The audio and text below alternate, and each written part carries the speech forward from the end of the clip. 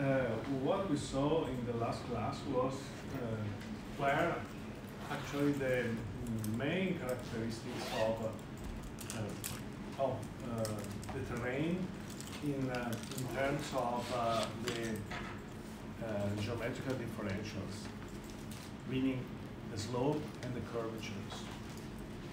I also mentioned that uh, slopes and curvature allows you to do a lot of things. And I try to just on the map of uh, slopes and curvatures show how you can infer some processes that are acting on the landscape.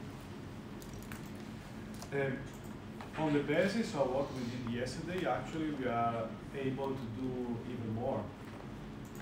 And this was uh, what we start to to see now.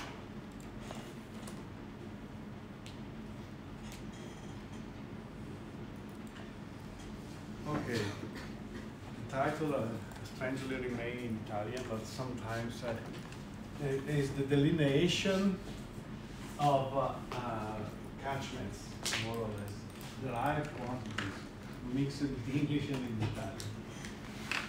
And uh, we start from what we learned yesterday, and uh, we go ahead.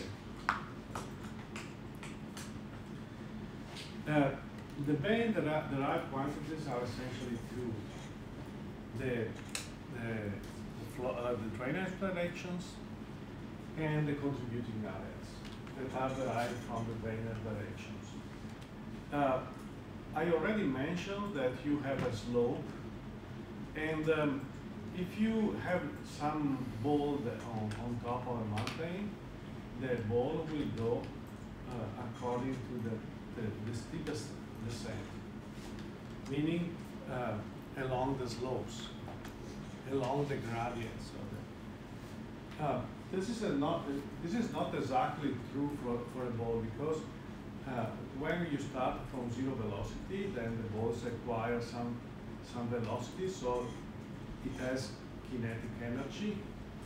And uh, when the, the gradient deviates, the ball continues for the law of mechanics and doesn't go directly to the to to the steepest descent.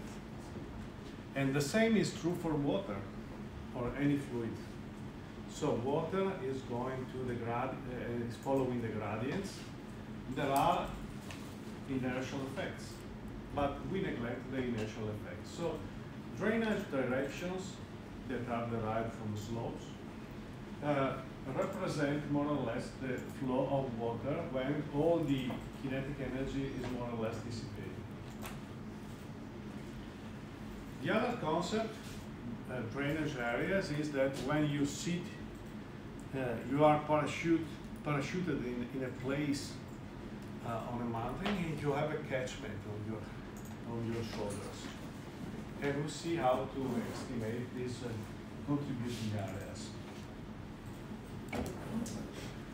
Uh, the concept of uh, drainage directions, uh, I, I, have just explained it. It goes to the gradients. But unfortunately, uh, we saw yesterday that, that, our landscape is not a continuum. At least we didn't uh, choose to, to treat it, as a continuum. We have, we have a surface which is discretized in point. So whenever we, uh, we have this, this type of landscape, the situation we have in front is uh, we have a discrete number of places where we can go because if we tile all the landscape, we can go not point by point, but from a point to the next tile. Here you see some uh, um, typical uh, configuration. If you have uh, triangles, like here, from a point you can go in six directions.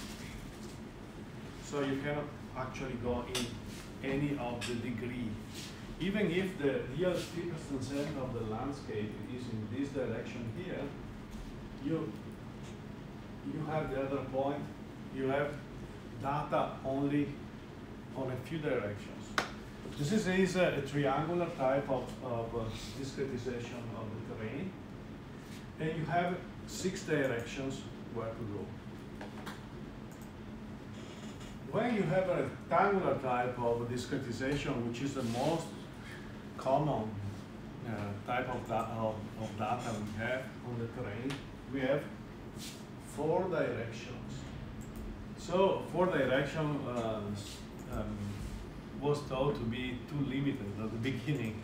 When, and say why we can't go also in the direction uh, that are 45 degrees, not just on the four main directions. So we call, here we have a topology with six directions, four directions, and eight directions. This is usually called in literature D8. So whenever we have the landscape, we have it discretized, and we, we have to, cho to choose which type of discretization we cope with. And uh, we usually cope with the last one, which is we have eight directions where to go when we are seated in the point. This brings into the description of the landscape uh, several limitations, and we are talking about them now. The first limitation is uh, in the D8 uh, scheme is that uh, maybe the landscape is, is not just oriented as a plane along the X or the Y axis, the E or the J, but this is oriented in a, let's say this is 20, 22 degrees, just in the middle. So the real steepest descent you, uh, that you estimate is going in the red direction, but we can go just on towards two or toward or towards the three, the point three. Now assume you have a long plane. Uh, you are seated over there, you go, you say, okay, I cannot decide here, I go on direction two. Then I go again on direction two, then I go again on direction two. So assume now that you are in the middle of Asia. You have a mountain in the middle of Asia. You are going and there is a big plane, hundreds of kilometers. And you, the, the, the real water goes along the red line, but you, with the A direction, are systematically adding an error and go in, instead of going into the Pacific Ocean, you go into the Indian Ocean.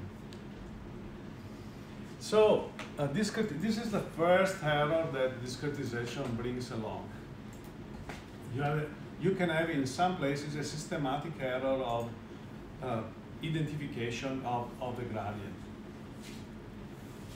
Uh, a way to work around it is to just taking, take into account which is the angular deviation you accumulate in each in each in, in each step. Here, for instance, we have two types of angular direction that are of uh, uh, deviation. One is the linear deviation called delta one or delta two, uh, according to the the, the to which which is the the initial system of reference is a sign in small green there and uh, or an angular direction. And you say, if you do that like we, we were doing before, we go always taking the two, the direction two, we are accumulating an error, an angular error or a deviation. And we can decide that when this deviation is too much, we choose the other, we choose not to go in direction two, but we go in direction three. This allows to correct to correct the, the, the, the, the error due due to the discretization. This is actually the main type of error that we do when we discretize our landscape with tiles.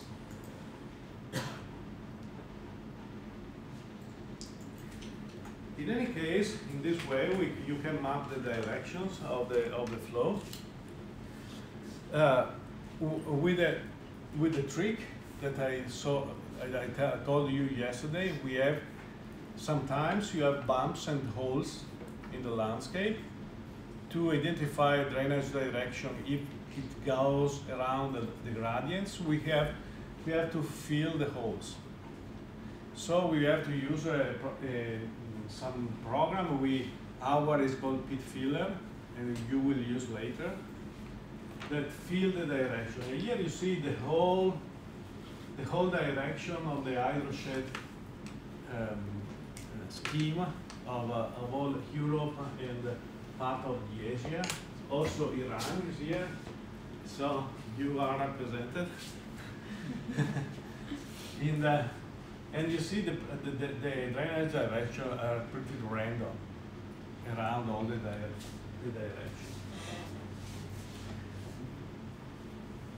Uh, from a smaller area, uh, the, the painting of the uh, direction, we have eight directions, say, so the number R goes from one to eight, and the color correspond to one of the eight numbers. In a in a smaller landscape, uh, the the feature is not appears not so random like here. There are uh, directions that are connected to the position of, of uh, the main mountains If we or the divide, mountain belts. Yes.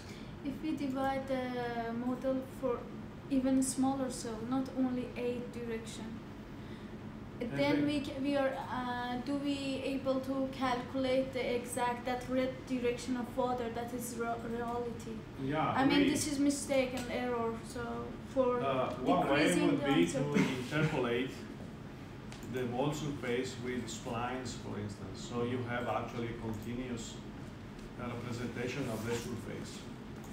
But uh, you know, historically, uh, the uh, the first guy who did it, who was uh, David Tarboton, I guess, or Larry Band, uh, University of Utah, Larry, Larry, uh, David Tarboton and Larry Band, University of Carolina. I don't remember of North Carolina or South Carolina. They did in the night, at the beginning of the 90s, the end of the 80s. They decided that interpolating was not a good thing because it was a- adding a layer of complexity above the data and was better to have this simple representation in, in, eight directions and that's all. But obviously you can interpolate the surface with splines, uh, so the, the surface becomes continuous. But you have to be aware that you are adding a layer of complexity. And also at that time, another aspect that was uh, important, actually still important, is that uh, surface is not so regular. So uh, surfaces uh, were reproduced as were considered as fractals, meaning discontinuous surfaces. So representing them as spline was kind of losing other part of information. yeah. So there is a trade-off in each time you do a choice that you have to take into account, and that was historically what was done. And then it has Uh, spread down, spread everywhere. And ev- let's say any tools that is a, that exist more or less use this conceptualization. But obviously you can change it. When we have drainage directions identified, we can say, oh, I am in this tile here, I go here, then I move in, in the other directions and so on. So, and I arrive from the place where I, I am to the, to the sea or to a lake. So that is uh, what is uh, flow directions is about. Uh, you have a tile and the space is divided in tiling. In any place you identify the directions. Uh, almost according to the gradient because you have to choice to go in, one tile and the other part. and you obtain, uh, let's say, those type of representation you have on the um, on top left. Uh, once you have a representation like this, uh, you can say, okay, uh, if I am seated here, I have other points that flow through me, and I can ca count how many points I have on my shoulders, including the place where I am. So this is the flow accumulation. Here's a start from zero, but uh, uh, I would prefer to start from one actually. Zero, one, uh, one two. Uh, you say when you are the starting point, you don't have you have zero area on your shoulder. When you go down, you have one area. When the, you go down here, you see you have seven. Why seven? Because there you have more converging direction that are accumulating areas. And then 20, 24, 35, which is actually what it could be a mainstream of the river, a main flowing direction. So you have the total flow accumulation, the flow direction. Uh, uh, we call the total flow accumulation total, uh, total contributing areas. Contributing area is some sometimes a, a, a, naming that can be should be understood at least because uh, contributing area means that, that the whole area you have upstream. If you give it a hydrological meaning, this could be not correct because even if you have a, a, a certain amount of area, for instance, 20 pixel above your shoulder, it doesn't mean that the water you are, uh, that arrived there is from the whole area. Because of the conformation of the surface, maybe some of the water is trapped somewhere. So in any uh, instant of time, the, the, the, the hydrologically contributing area can be less than 20. Okay, but we will use here total contributing area just to say the landscape contributing area, not the hydrologically contributing area. If we represent the flow accumulation in a, in a real catchment, what you obtain is a feature like this one. And one thing you say here, we have 51,200 pixels uh, here one pixel I, I assume is uh, 10 by 10 meters. And you see that flow accumulation clearly define some that looks like to our eyes streams. So you say, oh, we have the river network here. And that can be an idea, but where does the river network start? This could be important both for calculating how water moves because water moves differently outside the river network and inside the river network with different velocities. Above the, when the water is in the surface, the, the velocity is of the order of meter per second. When it's below is the order of centimeters or millimeters per second, depending on where you are. So the, the water is much slower when it is not inside, when it is not on the surface and, what is, and when it is not inside the channel.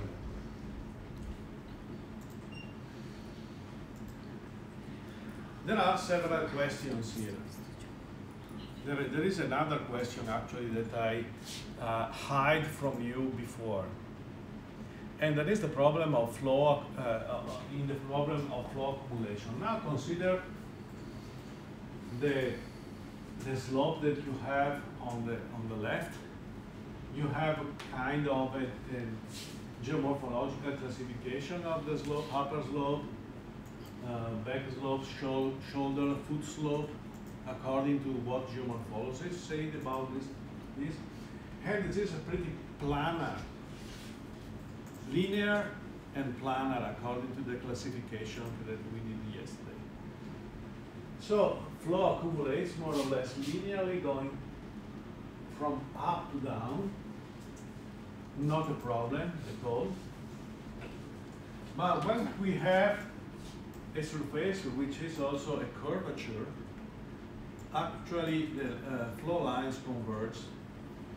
The, uh, the, the flow accumulates in some places. So you have here this uh, more more water in some places than the other. Here everything is uniform. Here you have accumulation of water actually on the center. From a, a general point of view, uh, water moves the sediment and the, the conformation of the terrain, which is made of sediment and, and bedrock, uh, constrain the movement of water. So the problem is a big carbon problem, this one, to, to be solved. In reality, what happens that we have water that moves, the landscape is formed by water, and the water is concentrated by landscape. It's a non-linear process. We don't, uh, in, in, uh, in absolute sense, we cannot separate the two movements, the two things. But is what hydrology do every day. For many application, and for the application we use in, in this course, we will assume that the, the, the landscape is kind of fixed. Maybe I will do some consideration at the end. But the landscape obviously is not fixed. It depends on time scales. It depends on what you are describing. If you are describing here uh, the formation of a of a flood, in, during the formation of a uh, fluvial flood, I don't know how to say, uh, certainly you have movement of sediment, but you can consider at least a certain scale that the, the landscape is not changing. But then you have a lot of exceptions. When you have debris flow, for instance, landscape is abruptly changing with the movement of water. So what I am saying uh, is a, a, slip, a slippery condition. It's not absolute.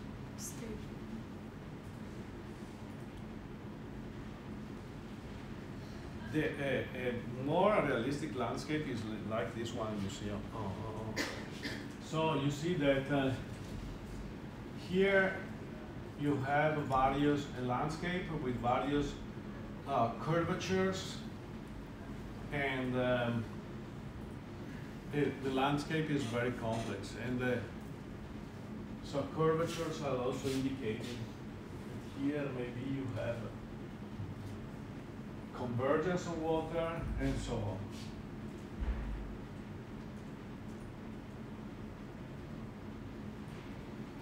So, one successful representation of the landscape is uh, uh, the one called D infinity. This was kind of uh, um, implemented by David Tarboton in a famous paper by 1997. And so what he says, okay, real situation is like this one that you see before here, very complex. What happens for in, in this case? Uh, what happens is that water, even if we, we would in principle able to go in the, along the gradients, we still have a dispersion of water around the gradient because of the microscale of the topography. And, and, and maybe also you have in the dynamic process of uh, distributing water, uh, it, kind of a phenomenon, diffusion phenomenon that spread water here and there. So the, uh, the, D infinity thing is a trick where you say when we have this drainage direction here, actually we not accumulate the water along just along this direction, but we spread a little bit of say water, but it's area in reality. I spread a little of area uh, on the left and a little of area on the right. Uh, the procedure is codified. We don't, we, we, we don't need to understand how, actually you spread it. But in reality, the, the thing is that uh, water is much less spread than you believe. So a representation like this one remain still true, even if even if you can adopt a, a thing like this one. This is particularly interesting when you are in a divergent path of the slope. When you have here, for instance, you see here the vector of the flow go diverging. So actually there they are not accumulating. In the years when this, this theory appeared, uh, one discussion was, important discussion, and it is now a, a big discussion. We have an ERC uh, project financed on, on these issues. Say, where do channels begin? Because uh, where do channels begin, I told before, is important for uh, understanding the formation of the floods, but obviously it is also important for the transport of, uh, probably more important for the transport of pollutants or sediment or traces. So, if the water is dispersing here, is not accumulating enough power to erode the, erode the, the surface and excavate and create a channel. So here we are in a hill slope. Here is accumulating and uh, uh, accumulating water means the ability to erode and then and, and then uh, start a channel. At the same time, from our point of view of calculation of the what which area we have on the on, the, on our shoulder here, we should see that when we go downstream, the water is not actually accumulating on this side, it's just dispersing. Just dispersing like here. So this, this is D infinity is a trial to to uh, cope with this position. But actually, this process is not very important where the water is convergent.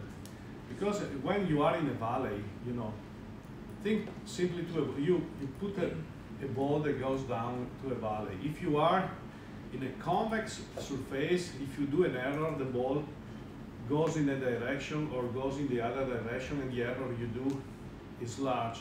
But and when you are in a convergent, a concave uh, things, the ball always finish to go down, down in the valley. So when, when you have a convergent topography, every type of correction is not so important because at the end you go on the valley. It is important when you are on the hillside. So uh, that's for my small contribution to, to this issue. And uh, the other thing is uh, the, the other thing is that uh, how much is the curvature of the topography? Usually the curvature of the topography is small. So the natural curvature of topography doesn't tell, doesn't disperse very much. Unless you are on the boulder, then, then obviously it's critical. What happens when we have drainage direction and we know, uh, we know how to accumulate our uh, um, area? Uh, we, we know where we are, we know where we go, we know what we have upstream. Um, all the points that we have upstream are our upslope catchment. That's all. And our goal is actually to identify the catchment. So when we have the tools that I have just illustrated, we are able to identify which is the at least the surface catchment on our shoulders. Hydrologically, this is, is not uh, really true because the surface, we are staying on the surface, so we are dealing with the topography, while a catchment is also subsurface. In some cases, the subsurface uh, topography can be different from the surface topography. So water underground, the catchment underground can be larger or smaller than the surface topography. And the roughness and the uh, of the underground uh, catchment can be different, actually different. You know, you have bedrock, then you have soil. The, the, our catchment in our view is the surface of the soil. And sometimes we have outcrop coming out. In that case, uh, the soil is uh, zero depth. Below we have some uh, uh, some some bedrock, the pure bedrock, and that is a different type of topography that also is determining how our catchment is working. But that we usually don't know.